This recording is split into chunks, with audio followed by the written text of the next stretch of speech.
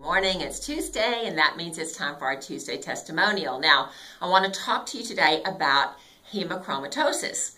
All right, now that is just a big fancy medical word, and what that means is you are not processing your iron appropriately. So, in the medical literature on your lab work, the proper amount of iron or ferritin, they may call it ferritin on your blood work, is 15 to 150 nanograms per milliliter. That is the uh, normal reference range. Well, we had a lady that came in and they had done her blood work and her ferritin level was at 304 and she's just kind of freaking out because it's way over the 150.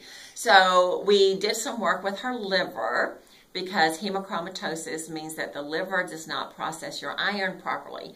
So we've been working on her liver and I think we've been doing this for about three months uh, and she just got her blood work last week and her ferritin is down to 96 which is well within the normal reference range. And what's funny is that she had told her primary care practitioner that she was working with me to resolve the hemochromatosis and the medical doctor said, oh yeah, well you're just wasting your money. There's nothing that's going to help with this because this is a chronic condition.